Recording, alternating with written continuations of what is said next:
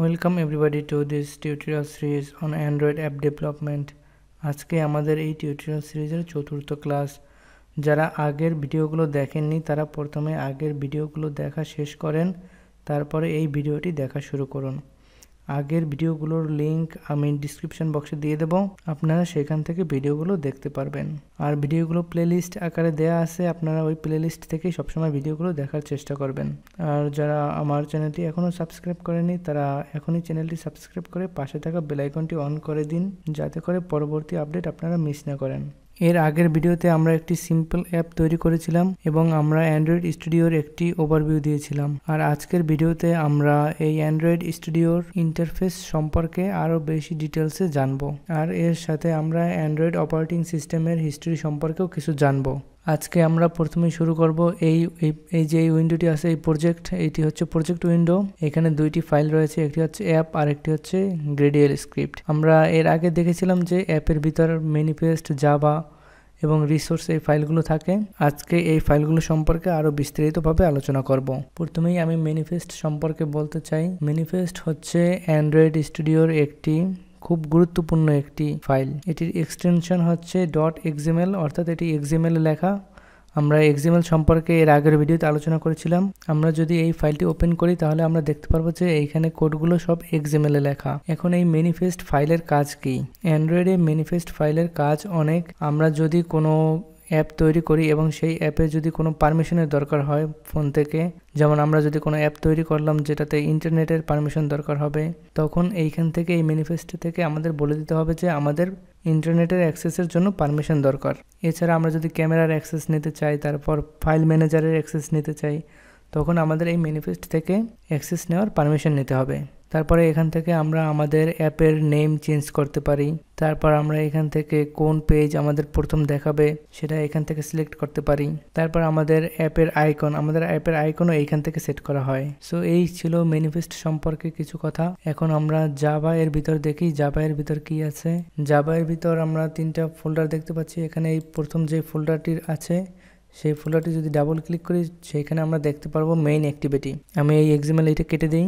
এই main activity এইটা হচ্ছে এই যে এই মেইন অ্যাক্টিভিটি এখানে যদি আমি ডাবল ক্লিক করে এই মেইন অ্যাক্টিভিটি ওপেন হবে। এইখানে জাবা কোডগুলো থাকবে। এইখানে প্রথমেই আপনারা দেখতে পাচ্ছেন প্যাকেজ নেম আমরা যখন প্রজেক্ট তৈরি করেছিলাম, তখন আমরা এই প্যাকেজ নেমটি দিয়েছিলাম। তারপরে আমরা দেখতে পাচ্ছি এখানে কিছু প্যাকেজ যেগুলো জাবা ইম্পোর্ট করেছে। আমরা এগুলো সম্পর্কে আরও বিস্তারিত আলোচনা করব পরে। তারপর আমরা দেখতে পাচ্ছি এখানে একটি পাবলিক ক্লাস ক্লাস কি জিনিস সেগুলো আমরা পরে আলোচনা করব। তারপর এখানে আমরা একটি মেথড দেখতে পাচ্ছি, সেটি হচ্ছে অন ক্রিয়েট মেথড এই অন ক্রিয়েট হচ্ছে আমরা অ্যাপ যখন আমরা রান করি রান করি তখন এর ভিতরে যত কোড আছে সেগুলো এক্সিকিউট হয়। আমরা সাধারণত এইখান থেকে আমাদের কোড লেখা শুরু করি, তারপর এখানে আমরা দেখতে পাচ্ছি set content view R dot layout dot activity main এখানে এটা বোঝাচ্ছে যে এই জাভা কোডটি এই যে আমাদের এই অ্যাক্টিভিটি মেইন এক্সিমেল আছে, এর সাথে কানেক্টেড আপনারা আপাতত এটাই ধরে নেন। আমরা পরবর্তীতে এখানে এটা কি বোঝাচ্ছে সেটি নিয়ে বিস্তারিত আলোচনা করব।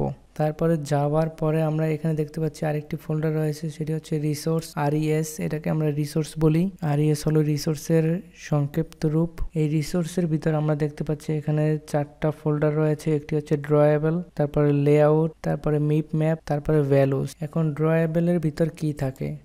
ড্রয়েবলের ভিতর সাধারণত আমরা যে ইগুলো আমরা যে ইমেজগুলো নেই, সেই ইমেজগুলো আমরা সাধারণত ড্রয়েবলের ভিতরে রাখি।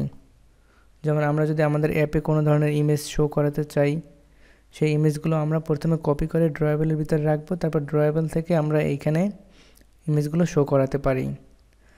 তারপরে ড্রয়েবলের ভিতর এছাড়াও বিভিন্ন ধরনের ডিজাইন যদি আমরা করে থাকি, বিভিন্ন বাটনের ডিজাইন যেমন এই বাটন যদি আমরা রাউন্ড করতে চাই, তারপরে এখানে যদি কালার যদি গ্রেডিয়েন্ট কালার দিতে চাই তখন আমরা সেগুলো এই ড্রয়েবলের ভিতর রাখি। আমরা পরবর্তীতে এই ড্রয়েবলের ব্যবহার দেখতে পারব। তারপরে আছে লেআউট এই লেআউটের ভিতরে সাধারণত আমাদের যে পেজগুলো সেই পেজগুলোর ডিজাইনগুলো এই লেআউটের ভিতরে থাকে। এখানে তো আমাদের শুধু একটি মাত্র লেআউট আছে মানে একটি মাত্র পেজ আছে। আমরা চাইলে আমরা আরও বিভিন্ন অনেকগুলো পেজ তৈরি করতে পারি। সেই পেজগুলো তখন এই লেআউটের ভিতরে থাকবে। তারপরের যে ফোল্ডারটি রয়েছে, সেটি হচ্ছে মিপ ম্যাপ এটির ভিতরে সাধারণত আমাদের অ্যাপের যে অ্যাপ আইকন সেই অ্যাপ আইকন এইটার ভিতরে থাকে। এটা আমরা যখন অ্যাপ বিল্ড করব একদম পুরোপুরিভাবে, তখন আমরা দেখতে পারব আমরা কীভাবে অ্যাপের জন্য আইকন তৈরি করতে পারি। তারপরে আরেকটি মোস্ট ইম্পর্টেন্ট ফাইল হচ্ছে ভ্যালুস এই ভ্যালুসের ভিতরে আমরা তিনটি ফোল্ডার দেখতে পাচ্ছি, একটি হচ্ছে কালার ডট এক্সএমএল আরেকটি স্ট্রিং এক্সএমএল আরেকটি হচ্ছে থিমস এখন এই কালার ডট এক্সএমএল ভিতরে যদি আমরা ঢুকি, তাহলে আমরা এখানে দেখতে পারব যে এখানে বিভিন্ন কালার দেওয়া আছে। এই যে এখানে এই কালারগুলো এইভাবে দেওয়া, এগুলো এক্সএমএল কোডে লেখা এখানে। আমরা যখন কোনো একটি কালার অ্যাপের ভিতর ব্যবহার করতে চাই, তখন আমরা এখানে এই সেই কালারটি সেট করে নিতে পারি। একটি নাম দিয়ে এবং পরে সেই নাম দিয়ে আমরা ওই কালারটিকে ব্যবহার করতে পারি। আর এই কালারগুলো সাধারণত হেক্স কোডে লেখা হয়। তারপর হচ্ছে স্ট্রিং ডট এক্সএমএল আমরা যদি এই স্ট্রিং ডট এক্সএমএল এর ভিতরে প্রবেশ করি, আমরা সেখানে দেখতে পারব আমাদের যেই অ্যাপের নাম, সেটি একটি ভেরিয়েবলের ভিতর রাখা আছে অ্যাপ ড্যাশ নেম এর ভিতর। এই স্ট্রিং ফাইলটি ব্যবহার করা হয় আমরা যখন অ্যাপের ভিতর আমরা যখন কোনো স্ট্রিং লিখতে চাই, বড় কোনো স্ট্রিং লিখি এখানে, তখন আমরা এগুলো এইখানে মানে হার্ড কোড না করে এগুলো একটি ভেরিয়েবলের ভিতর এইখানে রেখে দিই। তারপরে আমরা শুধু ওই ভেরিয়েবলটি ব্যবহার করে এইখানে এই ডিজাইনের ভিতর ওগুলো ইমপ্লিমেন্ট করি। আমরা পরবর্তীতে এই কাজগুলো একদম হাতে কলমে করে দেখব। সো যাদের বুঝতে একটু অসুবিধা হচ্ছে তাদের কোনো টেনশন নেওয়ার দরকার নেই। তারপর আমরা আরেকটি ফোল্ডার দেখতে পাচ্ছি, এই ভেরিয়ে ভ্যালুসের ভিতরে, সেটি হচ্ছে থিমস এই থিমসের ভিতরে দুইটি আছে, একটি হচ্ছে নাইট আর একটি হচ্ছে সাধারণ। এই নাইট থিম যে সাধারণত কাজ করে যখন আমরা, যখন আমাদের ফোনে নাইট মুড অন করা থাকে, তখন ওই অ্যাপটিও নাইট মুডের থিম অনুসারে ওই ডার্ক থিমের মতো কাজ করে। এখন আমরা যদি এই থিম ডট এক্সামেল এর ভিতরে ঢুকি, তাহলে আমরা দেখতে পাবো যে আমাদের অ্যাপটি কোন থিম ব্যবহার করে তৈরি করা হচ্ছে। এই যে এখানে আমাদের অ্যাপের থিম হচ্ছে theme dot material components dot day night dark action bar আমরা এই থিম সম্পর্কেও ডিজাইন সেকশনে আরও বিস্তারিত আলোচনা করব। তারপরে আমাদের আরেকটি গুরুত্বপূর্ণ ফোল্ডার হচ্ছে এই প্রজেক্ট উইন্ডোর ভিতর গ্রেডিয়াল স্ক্রিপ্ট এইখানে সাধারণত এই প্রথম ফাইল দুইটি আমাদের কাজের দরকার হয়। প্রথমটি হচ্ছে প্রজেক্ট লেভেল আর একটি হচ্ছে অ্যাপ লেভেল এই প্রজেক্ট লেভেলের গ্রেডিয়াল ফাইলটি যদি আমরা ওপেন করি, আমরা এখানে দেখতে পারব আমাদের অ্যাপের যে ডিপেন্ডেন্সিগুলো আছে, সেটা এখানে উল্লেখ করা আছে। আমাদের সাধারণত এই যে মডিউল এইটা বেশি কাজের প্রয়োজন হয়। এখানে আমাদের মিনিমাম এসডিকে আমাদের অ্যাপের যে ভার্সন সেটি, আমরা যদি কোনোদিনও এই অ্যাপ আপডেট করতে চাই, তখন আমাদের এই ভার্সন পরিবর্তন করার দরকার হলে আমরা এইখান থেকে পরিবর্তন করতে পারি। তারপরে আমাদের অ্যাপ যদি কোনো ধরনের বাহির থেকে কোনো ধরনের ডিপেন্ডেন্সি ব্যবহার করে থাকে, তখন আমরা সেইগুলো এইখানে ইমপ্লিমেন্ট করতে পারি। আসলে এইখানে ইমপ্লিমেন্ট না করলে আমরা সেই ডিপেন্ডেন্সিগুলো ব্যবহার করতে পারব না। সামনে আমাদের এই ফাইলটির অনেক ধরনের কাজ রয়েছে। আপনারা তখন এই ফাইলের কাজগুলো আরও বিস্তারিতভাবে দেখতে পারবেন। এখন আমরা যদি এই গ্রেডিয়েল সম্পর্কে কিছু কথা বলতে চাই, তাহলে বলতে পারি যে গ্রেডিয়েল সাধারণত আমাদের অ্যাপ যখন বিল্ড করি, ওইটা যে একটা এপিকে ভার্সন তৈরি করে, সেই এপিকে ভার্সন তৈরি করতে এই গ্রেডিয়েল স্ক্রিপ্ট সাহায্য করে। সাহায্য করে বলতে গ্রেডিয়েল স্ক্রিপ্টটি ওই এপিকে ভার্সনটি তৈরি করে এপিকে ফাইলটি যেটি আমরা আমাদের অ্যান্ড্রয়েড ডিভাইসে ইনস্টল করতে পারি। সো এই ছিল প্রজেক্ট উইন্ডো সম্পর্কে কিছু কথা।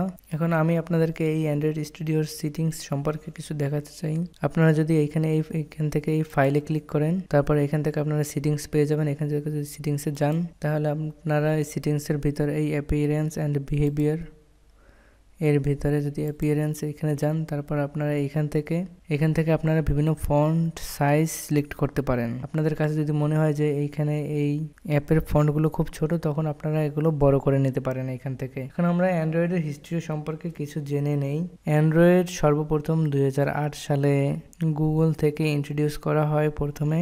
অ্যান্ড্রয়েডের প্রথম ভার্সন হলো ওয়ান পয়েন্ট জিরো তারপরে অ্যান্ড্রয়েড প্রতিনিয়তই নতুন নতুন ভার্সন তৈরি করে যাচ্ছে। প্রথম অ্যান্ড্রয়েড অপারেটিং সিস্টেমটি এইচটিসি ড্রিমে প্রথম ব্যবহার করা হয়। আর অ্যান্ড্রয়েড হচ্ছে একটি অপারেটিং সিস্টেম যেটি লিনাক কার্নেলের উপর বেস করে তৈরি করা হয়েছে। আর এর মালিক তো অবশ্যই গুগল আর অ্যান্ড্রয়েড হচ্ছে গুগলের প্রোডাক্ট এখন পর্যন্ত অ্যান্ড্রয়েডের হয়তো সতেরোটি ভার্সন বাজারে এসেছে, যার ভিতরে উল্লেখযোগ্য হচ্ছে Android donut KitKat ice cream sandwich jelly bean lollipop marshmallow nougat Oreo pie Android Q Android R ইত্যাদি। এখন আমরা আমাদের অ্যাপের ডিজাইন সম্পর্কে আর একটু দেখি বিস্তারিত।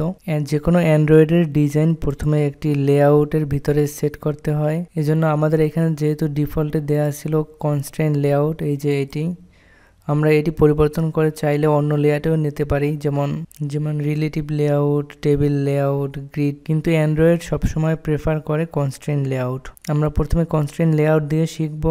তারপরে বাকি লেআউটগুলো আমরা পরবর্তীতে দেখব।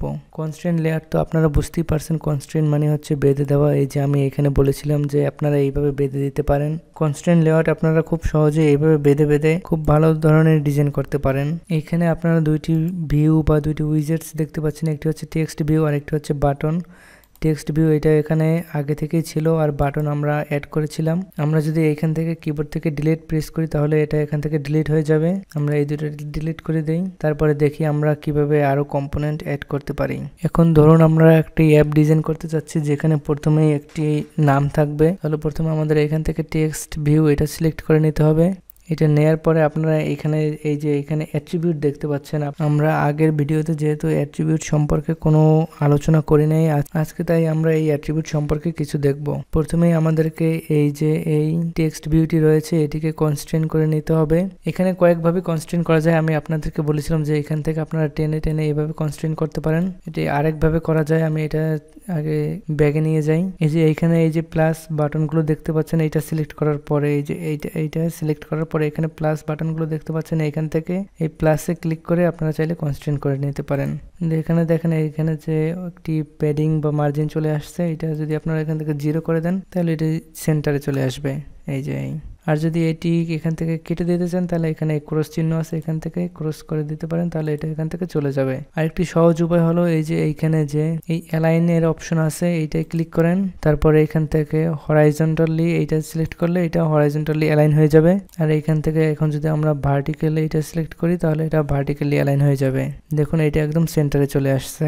এখানে এই অ্যাট্রিবিউটের ভিতর প্রথমেই আপনারা দেখতে পাচ্ছেন আইডি আইডি হচ্ছে কোনো একটি ভিউ এর ইউনিক আইডেন্টিফিকেশন আমরা যখন অ্যাপে অ্যাপে ব্যবহার করব। আমরা যখন এই টেক্সট ভিউ নিয়ে কাজ করতে যাব, তখন আমাদের এই আইডি এর দরকার হবে। যখন আমরা এই জাভার ফোল্ডারের ভিতরে এই টেক্সট ভিউ নিয়ে কাজ করব, তখন। এখান থেকে ধরেন আমরা অ্যাপের এই আইডি চেঞ্জ করে দিতে পারি। ধরেন আমরা এখানে দিলাম অ্যাপ নেম। আমি এখানে এই এনটা ক্যাপিটাল করে দিই, তাহলে এটা বুঝতে সুবিধা হয়। আর এইখানে এর ভিতরে যে টেক্সট আছে, এই টেক্সটও আমরা চেঞ্জ করে দিতে পারি এখানে। ধরেন এখানে আমরা দিয়ে দিলাম, আমাদের অ্যাপের নেমটি এখানে দিয়ে দিলাম। এখন এখানে এন্টার প্রেস করার পরে এখানে এই অ্যাপের নাম এটি চলে আসছে। এখন আমি যদি এইখান থেকে যদি সার্চ করি সাইজ লিখে, তাহলে আমরা এই টেক্সটের সাইজ পরিবর্তন করতে পারব। এখান থেকে আমি এটাকে থার্টি ফোর এসপি করে দিই। তাহলে এটা অনেক বড় হয়ে যাবে। তারপরে এখান থেকে আমরা যদি কালার সার্চ করি, তাহলে কালার চলে আসবে। আমরা এখান থেকে টেক্সটের এই কালার দিতে পারি। ধরেন আমরা টেক্সটের কালার হালকা ব্ল্যাক করে দেই। এই যে দেখেন আমাদের এই নামের কালার চেঞ্জ হয়ে গেছে। এখন আমি চাইলে এটাকে এখানে অ্যালাইন করতে পারি। এই যে, তারপর আমি যদি চাই এখানে একটি ইমেজ শো করাতে, তাহলে আমি এখান থেকে একটা ইমেজ ভিউ এটা নিতে পারি। তারপর এখান থেকে আমাদের একটি ইমেজ সিলেক্ট করতে বলবে। আমি আপনাদেরকে ইমেজ সিলেক্ট করার পরে দেখাবো এখন আমি এখান থেকেই দেখাচ্ছি। যেহেতু আজকের ভিডিওটি ইমেজের উপরে না, তাই আমরা এখান থেকেই দেখছি। আমি যদি এখান থেকে এই ইমেজ এটি সিলেক্ট করি, এই ইমেজ এগুলো কিন্তু আমাদের যে আমি দেখিয়েছিলাম আপনাদেরকে ড্রয়েবল ওই ড্রয়েবলের ভিতর রয়েছে। এখন আমি এখান থেকে ওকে করে দিই। তারপর দেখেন এখানে একটি ইমেজ চলে আসছে। আমি এই ইমেজটি একটু নিচে নামিয়ে দিই। তারপর আমি এটার এই ইমেজটিকে এই ইমেজটিকে আমাদের কনস্ট্যান্ট করে দিতে হবে, কারণ এখানে দেখেন এরোর দেখাচ্ছে। এই জন্য আমি এখান থেকে এটা কনস্ট্যান্ট করে দিই। এটা এইভাবে কনস্ট্যান্ট হয়ে গেছে, আমি এটা একটু উপরে তুলে দিই।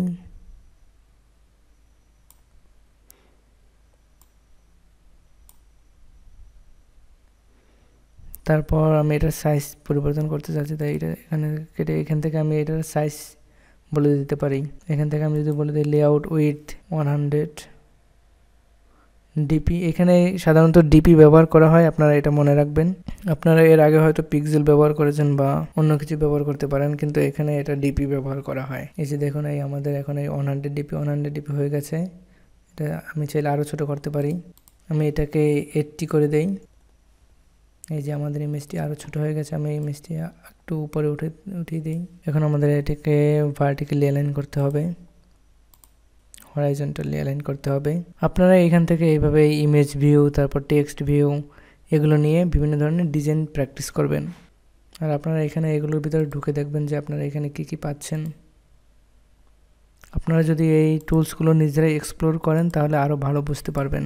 আমরা এর পরবর্তী ভিডিওতে এই টুলসগুলো তারপরে এই অ্যাট্রিবিউট সম্পর্কে আরও বেশি বিস্তারিত আলোচনা করব। সো পরবর্তী ভিডিও দেখার জন্য আমন্ত্রণ রইল।